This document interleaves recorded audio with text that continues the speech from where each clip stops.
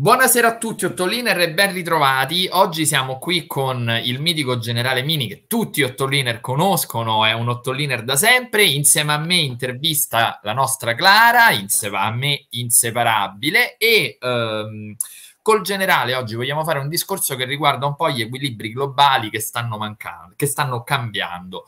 Eh, noi parliamo spesso di multiporalismo, di ascesa di nuovi attori globali e ecco io la domanda che vorrei fare al generale riguarda proprio eh, la strategia che gli Stati Uniti stanno adottando in questo cambiamento generale delle cose. Quindi ehm, si parla spesso ad esempio di svolta della Nato una sorta di nato globale, questo l'abbiamo già visto negli incontri precedenti, quelli immediatamente successivi all'intervento russo in Ucraina, quando avevamo visto partecipare agli incontri della Nato anche i membri asiatici o del Pacifico, e quindi Australia, Giappone, Corea del Sud alle riunioni. Questo poi è in parte in contraddizione con altre tendenze, come mi faceva notare Clara poco fa, e ad esempio la tendenza invece statunitense è estromettere i francesi dall'area del Pacifico. Quindi le chiedo, generale, andiamo verso effettivamente una Nato globale oppure questa è più, diciamo, una bolla del mainstream, una bolla della stampa? Eh, è una bolla perché non ci sono proprio i presupposti perché ci sia una alleanza militare di livello globale. Eh, contro chi? Perché io capirei eh, un'alleanza eh, globale eh, contro un'invasione dallo spazio, eh, con quei bei film che ci fanno vedere eh, spesso che eh, tutti i signori del mondo si riuniscono intorno a un tavolo e decidono quale strategia eh, sal- eh, adottare per salvare il mondo da questi alieni. qui alieni non ce ne sono, qui abbiamo tutti attori internazionali che sono più che conosciuti. Ognuno di questi ha una strategia che è chiarissima ognuno di questi ha forze armate che sono altrettanto chiare sia nella potenza sia nella vulnerabilità. Eh, quindi cosa, cosa, vuol dire eh, mettere insieme un'alleanza di carattere globale? Eh, oltre a una bolla di carattere mediatico per far parlare un po' di, di eh, eh, sapientoni eh, come me, eh, allora dare la, la, la, la, possibilità a tutti di esprimersi eh, e, c'è, e c'è poi invece l'altro aspetto che non è quello soltanto di fare del gran chiasso, è quello di eh, cominciare a vedere quali possono essere i nuovi equilibri, non gli squilibri, ma i nuovi equilibri. E qui la, la strada è lunga, oltre che tormentata. E um, generale, invece, per quanto riguarda la situazione, perché diciamo no, l'impressione che abbiamo comunque è quella di, del riformarsi di un campo, no? di una sorta di nuova guerra fredda. Quindi, ad esempio, anche qui abbiamo visto le frequenti esercitazioni congiunte eh, nell'Oceano Indiano tra Iran, Russia e Cina, piuttosto che la Corea del Nord, che ha iniziato a fornire proiettili, armi, componenti molto importanti per l'industria militare, anche civile, ma insomma, in particolare abbiamo avuto notizie nel militare, tanto all'Iran quanto ehm, alla Russia, gli accordi in svariati ambiti eh, anche agricolo, insomma, tra Venezuela e Iran sono noti e più, così come eh, le collaborazioni appunto che la, Russia, la, Bielorussia sta stringendo con questi paesi. Ecco, anche qui la retorica dell'asse del male, no? Um, questo campismo tardivo, in qualche modo, questa lettura campista, cioè del mondo diviso in due blocchi contrapposti, una nuova guerra fredda che che arriva, dal, da un lato ci sono i russi e i cinesi e i loro alleati minori, dall'altro c'è l'Occidente, quindi lei dice non si sta formando la Nato. Per quanto riguarda il blocco opposto, eh, assistiamo invece a un qualche compattamento o anche lì si tratta di una bolla mediatica? No, anche lì non si, dire, oltre a una bolla mediatica che è lo sfruttamento di qualche cosa, eh, da quella parte si stanno invece eh, eh verificando quali possono essere eh, gli equilibri parziali, cioè eh, non è quello di costituire un blocco, qui il blocco, un altro blocco non lo vuole nessuno, la guerra fredda tra due blocchi. Per adesso è soltanto un sogno degli americani che vorrebbero ricostituire anche il blocco eh, che era quello sovietico, non, eh, almeno idealmente. Non, non è così.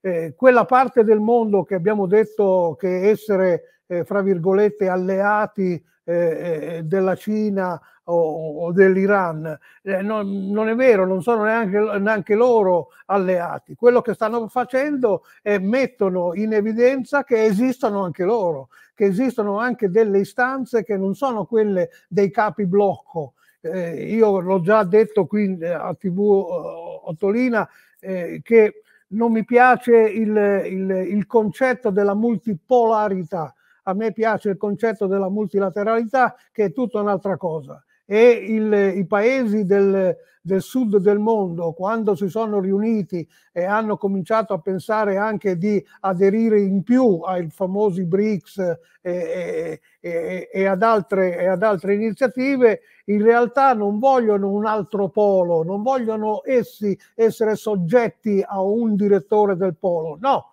vogliono ognuno di loro vuole avere una parte commisurata alle aspettative, commisurata alle risorse, commisurate alle esigenze di carattere nazionale e di carattere eh, politico e strategico. Quindi la guerra fredda che, che, di cui si parla, ed è vero che si parla ancora di una guerra fredda, non è vista come un, un, nuovo problema, come tornare al problema vecchio, ma come la soluzione di qualche cosa che non si riesce ancora a mettere insieme. Cioè tornare indietro per vedere se è possibile ristabilire quella eh, quella, eh, eh, quel rapporto bilaterale che era basato soltanto sullo, sul confronto della potenza militare. Eh, non ci siamo, anche qui non, non, non, non è questo il, il caso.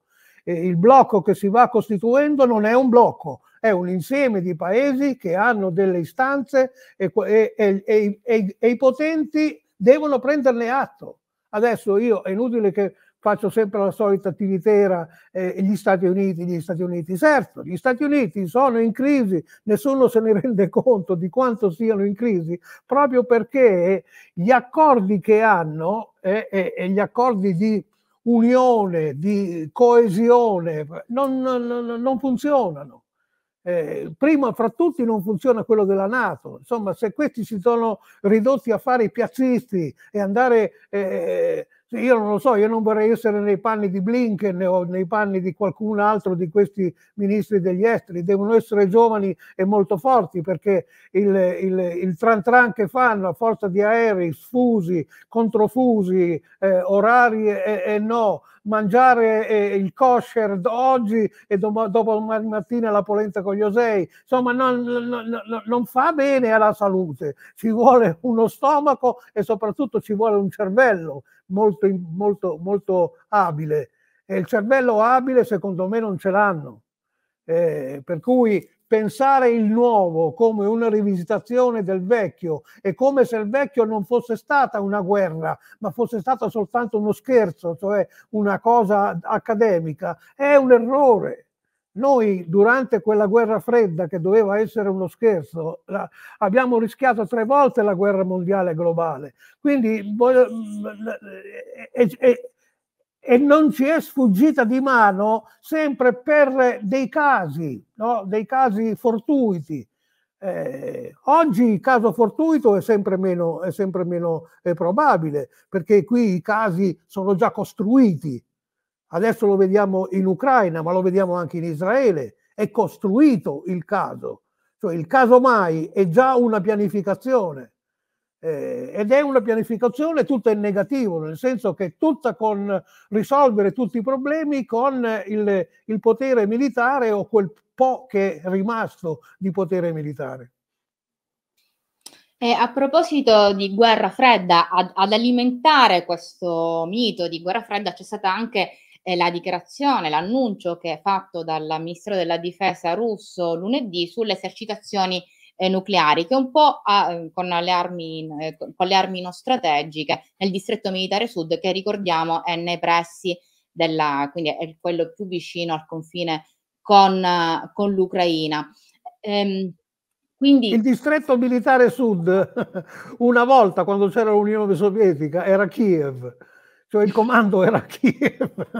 Adesso tanto, tanto, per dire come siamo combinati. Sì, sì, sì. Eh, vado, vado, vado, Questo chiaramente evoca, addirittura ho letto delle analisi in cui veniva evocata una, una sorta di nuova crisi eh, caraibica e queste sono discussioni che sono in questo momento alla, mm, alla, all'ordine del giorno in, in, Russia tra i falchi che vorrebbero addirittura utilizzare il nucleare, invece le colombe che temono soprattutto la postura della, della Cina che ha messo, la considera un'opzione come inammissibile.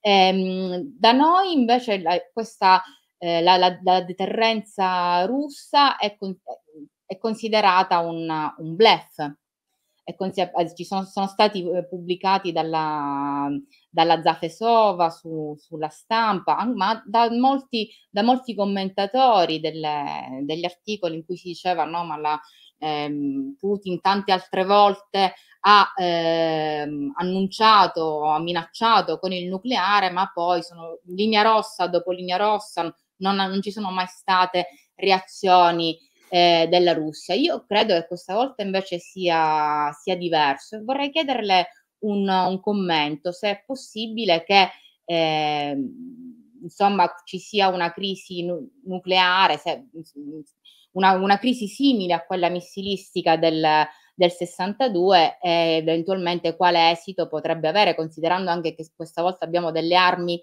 tattiche che non hanno poi, no, non hanno poi questo potenziale così distruttivo come la, le armi strategiche? Beh, allora eh, par- parliamo appunto di due livelli di interventi nucleari, quelli di livello tattico e di quello di livello eh, strategico. Allora, eh, l'accordo e il, la proibizione generale, e sono tutti d'accordo, di non andare a finire nel, nell'escalation fino al livello strategico, c'è da, da, da parte di tutti. Tutti se ne rendono conto che quella non è una via ma in tutti questi anni, dalla, durante la guerra fredda, ma anche dopo, con questa, eh, eh, fra virgolette, armi nucleari tattiche che sono di bassa potenza eh, ma, eh, e anche bassi effetti di fallout e altre cose, ma sono, sono eh, eh, mega distruttivi rispetto alle armi convenzionali. Bene, in questi anni noi abbiamo sdoganato l'idea che l'arma nucleare tattica si possa usare, utilizzare, cioè che è consentito, che si può fare. Dipende dalle, dalle, eh, dalle situazioni, dipende anche dalle volontà e quindi eh, eh, l'intervento nucleare tattico non è detto che automaticamente inneschi quello strategico, perché a livello strategico gli Stati Uniti, che sono i maggiori detentori insieme ai russi eh, di quegli armamenti, non ci vogliono arrivare i, i russi come gli americani non si possono permettere il lusso di avere nemmeno un missile intercontinentale balistico sulla testa, nemmeno uno se ne possono permettere. Quindi eh, eh non, non, non, parliamo quindi di 7.000 testate nucleari da una parte e 7.000 testate nucleari di livello strategico dall'altro. Non, questa non c'è.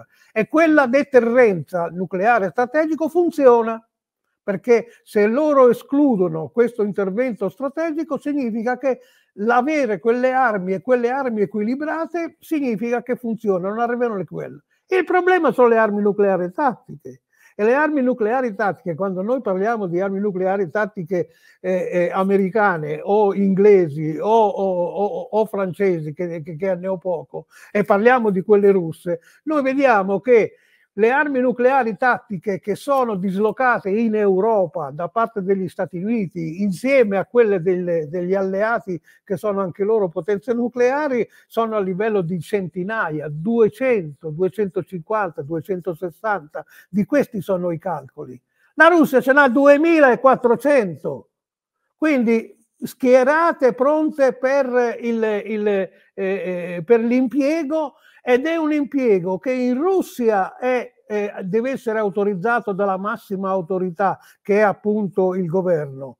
Ne, negli Stati Uniti e così nell'ambito della Nato le armi nucleari tattiche fanno parte già adesso in tempo di pace del, eh, eh dell'arsenale, dell'arsenale eh, eh, militare convenzionale e speciale nucleare eh, a disposizione del comandante di, eh, di area che in pratica in, in, in, eh, gli americani hanno eh, con il comandante delle truppe militari, delle truppe eh, americane in Europa, è lui il comandante e lui è l'autorità che può dare l'ordine di impiegare gli armi, perché ce l'ha già nel, nella sua disponibilità.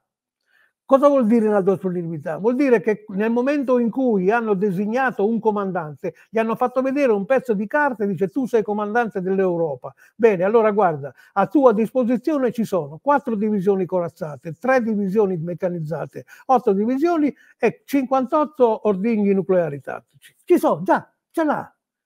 Quindi lui, ovviamente, prima di passare al nucleare, già soltanto con, con, con il suono nucleare, eh, eh, mi sembra assurdo che un comandante locale no, eh, eh non interpelli prima tutta la, tutta la, la, la, la, scala gerarchica prima di impiegare quello che lui ha a disposizione. Ma teoricamente è già lì, è già pronto.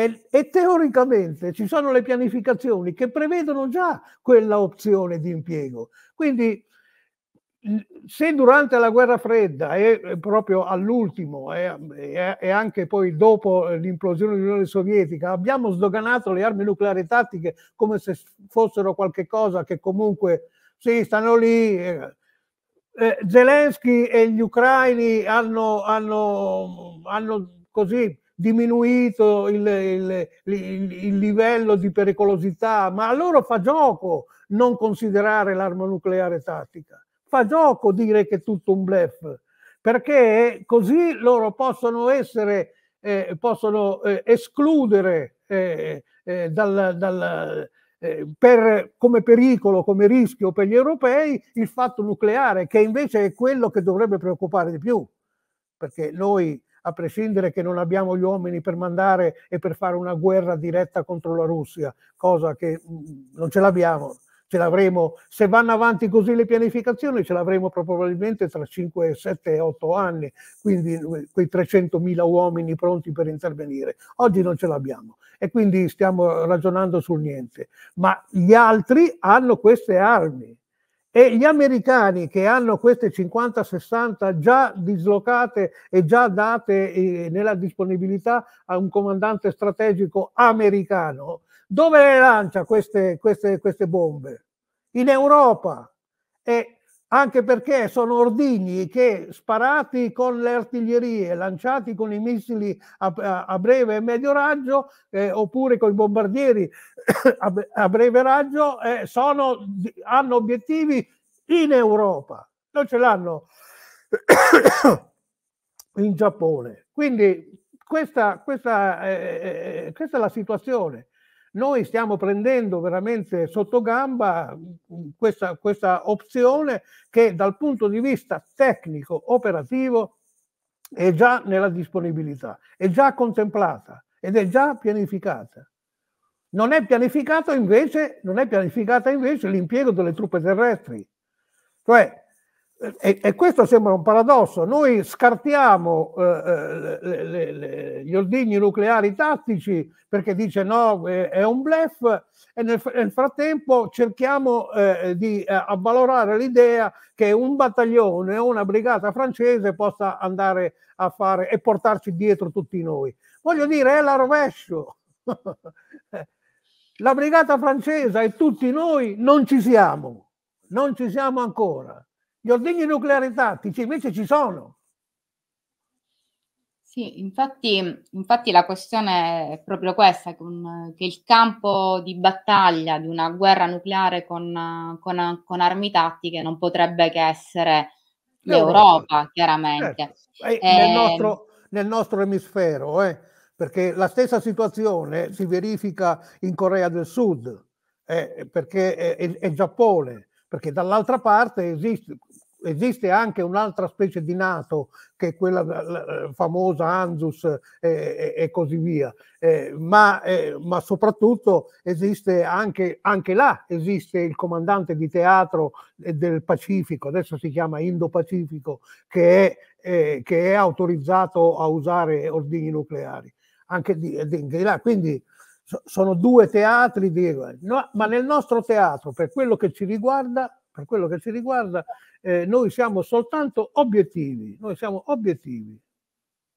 Sì, questo praticamente cioè, mi sembra di capire che eh, se dovesse essere utilizzata la tattica, la, una ta- cioè, se dovessero essere utilizzate le tattiche in Europa, non si arriverebbe all'apocalisse nucleare, si arriverebbe alla totale distruzione dell'Europa. Certo, certo, assolutamente.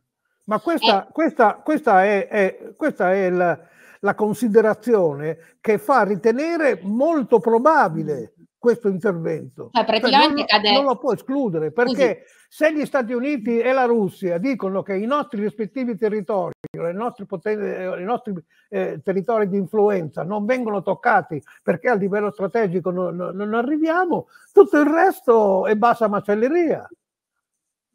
Quindi sostanzialmente sta dicendo che cade la deterrenza. No, no, cade, è caduta già la terre, deterrenza. Allora, siccome l'arma nucleare tattica è stata assimilata all'armamento convenzionale, noi abbiamo assistito in, in, in Ucraina alla caduta completa della deterrenza convenzionale. No, è proprio fallita, no, no, non c'è. La Russia se n'è fottuta, fra virgolette, e, e, e, e passatemi il termine da caserma, se n'è fottuta del, del, fatto che ci fossero delle armi eh, convenzionali che, eh, che, potevano essere mandate dall'Europa o, o dagli Stati Uniti eh, in, in, nel continente europeo. No, se n'è fregata. Ha, dovuto, ha, ha, fatto un'operazione, probabilmente io sono convinto non era quella che, che si è prevista, nel senso non, era, non è partita come un'operazione di invasione eh, totale, di arrivare a tutte, tutte, tutte baggianate, ma la potrebbe diventare. E più, più incominciamo a, a, a, ventilare delle ipotesi strane e più avvaloriamo la pianificazione o l'idea che si debba alzare il livello. Così è. Um, Senta, generale, le faccio. Clara, posso subentro sì, io con sì, una sì, domanda? Vorrei fare una domanda per quanto riguarda invece la situazione in Medio Oriente, perché a questo punto eh, colgo l'occasione per creare un po' il quadro generale, no? Perché mi sembra di capire che anche lì si è parlato eh, abbiamo visto sostanzialmente Israele agire nel tentativo continuo di alzare la tensione, no? E quindi all'inizio hanno cominciato parlando di potremmo usare la bomba atomica, è vero che l'ha detto un ministro secondario, ma intanto l'hanno detto. Poi la, questo attacco in barba a tutte le regole internazionali, la Corte all'AIA è intervenuta, addirittura hanno minacciato la Corte, la Corte la settimana passata ha detto smettetela di minacciarci, cioè parlando ai governi di Israele e Stati Uniti, quindi insomma una situazione quasi fuori controllo. In più c'è stato eh, il conflitto è stato portato in Libano, è stato portato in Siria, in Siria è stato tirato giù un edificio diplomatico iraniano, eh, stato, sono state uccise figure importanti anche di collegamento tra l'Iran e Hezbollah, quindi insomma uno degli asset principali della politica estera iraniana. Ecco, la domanda che le voglio fare su uh, quest'area, mh, diciamo, come può venire fuori Israele anche in base, a che idea si è fatto? Perché Israele a questo momento sembra un po' in un vicolo cieco, no? Anche questa azione a Rafah sembra tutto sommato tiepida, chiaramente nella sua tragicità e drammaticità per la popolazione locale, però all'interno invece del contesto bellico sembra un'azione tiepida, cioè sembra più che altro che Israele voglia conservare la minaccia di poter agire in qualsiasi momento. Eh, quindi la domanda che le faccio è come possono venirne fuori, perché a questo punto sembra veramente che la situazione sia persa. Eh, allora, come fuori, parto dalla considerazione che eh, la reazione eh, rispetto a quello che ci si aspettava o quella che poteva fare Israele è tiepida, fra virgolette. Allora, guardate che quello di presentare una cosa, di fare una cosa dopo averla esagerata, dopo averla esasperata, no? e, e farla invece nella, nella, nella, misura in cui è possibile fare senza, senza far crollare tutto il quadro, è proprio quello. Nel senso che Israele l'ha detto in, in mille salse, no? invaderemo, spaccheremo tutto, eh? e poi alla fine eh, già prima non poteva farlo. Già prima non poteva ammazzare un milione e mezzo di persone impunemente poteva soltanto spingere, premere su tutti, primo perché riforniscono, lo riforniscono eh, di armi e di cose, ma so, soprattutto eh, che si smuova il terreno, soprattutto nei, nei, nei paesi arabi o altri, altri paesi, per deportare tutti i palestinesi da qualche parte. Quindi eh, azione tiepida, sì, azione tiepida va bene, ma perché? Perché, perché si vede che nel momento in cui fosse stata fatta un'azione come l'avevano minacciato, sarebbe crollato molto del, del, del, del sostegno sul quale eh, fa affidamento Israele. Come ne esce Israele? Israele ormai è condannata ad uscirne male perché da come, come, si è messa in moto eh, ne, è condannata a uscirne male. Cioè non può perdere dal punto di vista militare perché di fronte a un avversario che non è alla sua, alla sua, alla sua altezza, non, non, è inutile, anche mettendo di mezzo l'Iran. L'Iran stesso si rende conto che quello che può fare con, mandando missili è quello che noi facciamo nei confronti dell'Ucraina. Gli, man, gli mandiamo un po' di armi, qualche cosa che, che, che, che, possa fare perché possano resistere oppure per far finta che noi li sosteniamo. Questo è, è, molto, è, molto, è, molto, probabile. No? Ma, ma di dietro non c'è Iran, non c'è Stati Uniti, non c'è eh, eh, eh Siria o Iraq che, eh, eh, che, che decidano di fare una guerra regionale. Non, non la possono fare, non, non, non l'hanno neanche considerata e l'unica cosa che hanno considerato è che nella quale eh, Israele ci è caduto è quella di dimostrare che Israele è una minaccia, è una minaccia regionale, una minaccia per tutte le regioni del, del, dell'Asia minore e, e, del, e dell'Europa. Quindi, quindi, ne esce male. Si, potrà, eh, eh, si, potranno fermare i combattimenti? Sì, va bene, potranno fermare i combattimenti. Hamas come rappresentante palestinese, fra virgolette, aumenta e non diminuisce il proprio, il proprio potere, eh, probabilmente verranno, ci, ci, saranno delle concessioni da fare anche ai palestinesi, o Hamas o, qualche al- o sotto qualche altra forma. Ma per adesso l'obiettivo principale di Israele, che era quello di avere indietro gli ostaggi, eh, e di azzerare la parte militare di Hamas e di azzerare Hamas come parte politica non, eh, eh, è caduta, non, non c'è. Israele sta trattando con Hamas dopo aver detto che è intrattabile, dopo aver detto che non si può trattare con i terroristi, che li uccideremo tutti, li manderemo tutti in, in Namibia, bene, eh, sta trattando, deve trattare è quello che deve trattare Israele, è il futuro, non è la guerra immediata. Io l'ho, l'ho già detto altre volte. Israele adesso fa quello che, che, deve fare, ha tutto il mondo che nicchia, non dice niente, c'è un tribunale internazionale che vale quando il tuo di briscola, che, no, che, che prende le istanze di un paese e, e, di un altro, ma non ha una capacità operativa per imporre niente a nessuno. Per cui, vabbè, una volta messa in discussione se c'è un genocidio o non c'è un genocidio, se la vedranno gli avvocati. È la situazione identica a quella ucraina-russa. Eh, c'è, un, un, c'è stato un, un eccidio, un genocidio, se la vedranno gli avvocati. C'è stata l'aggressione, se la vedranno gli avvocati internazionalisti.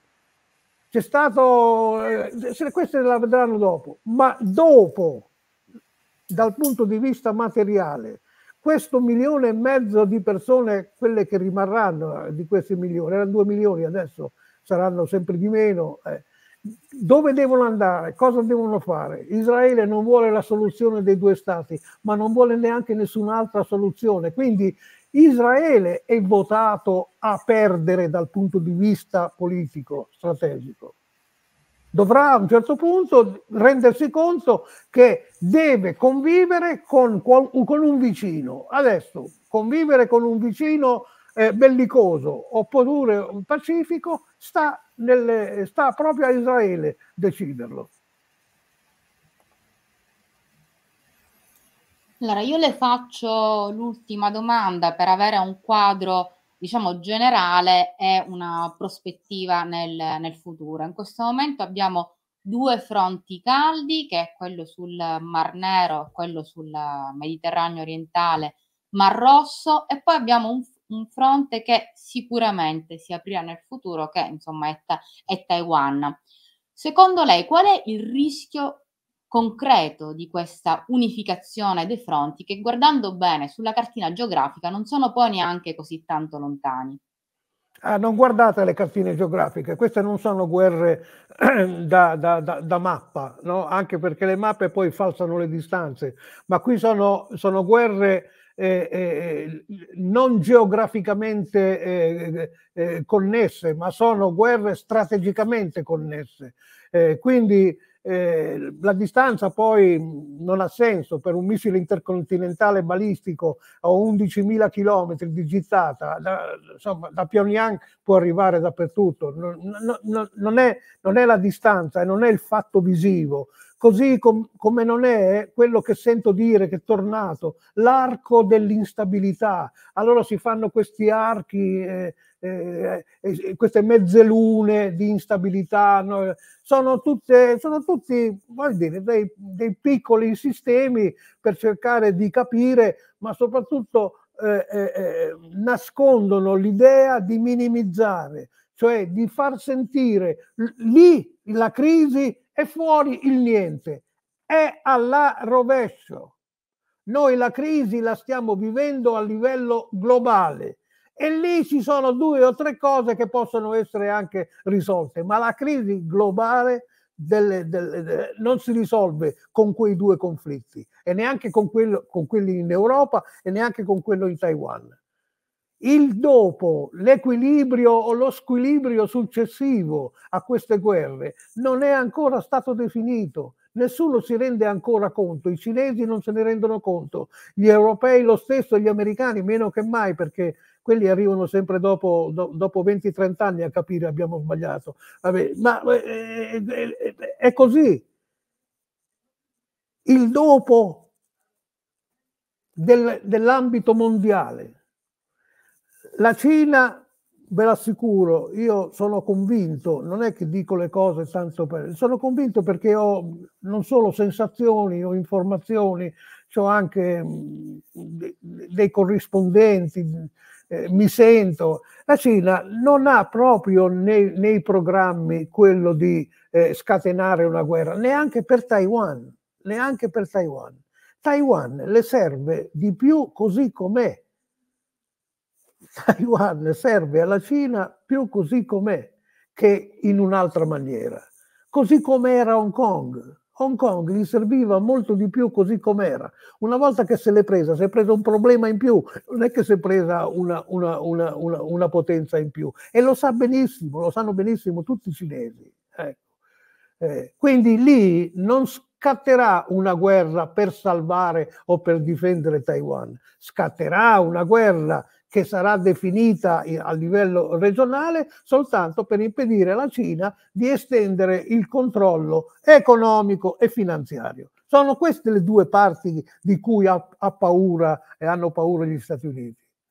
Eh, la, le, l'arco dell'instabilità che eh, dal, dal, dal, Portogallo, dal Gibilterra, arriva fino allo stretto della Malacca e fino a, a, Taiwan, è una costruzione didattica, se si vuole, per far vedere dove sono i conflitti, ma non sono, non sono collegati. E soprattutto non sono collegati perché i conflitti, perché chi gestisce i conflitti non ha il collegamento mentale con la realtà ha solamente uno scopo, quello di prevaricare. Eh.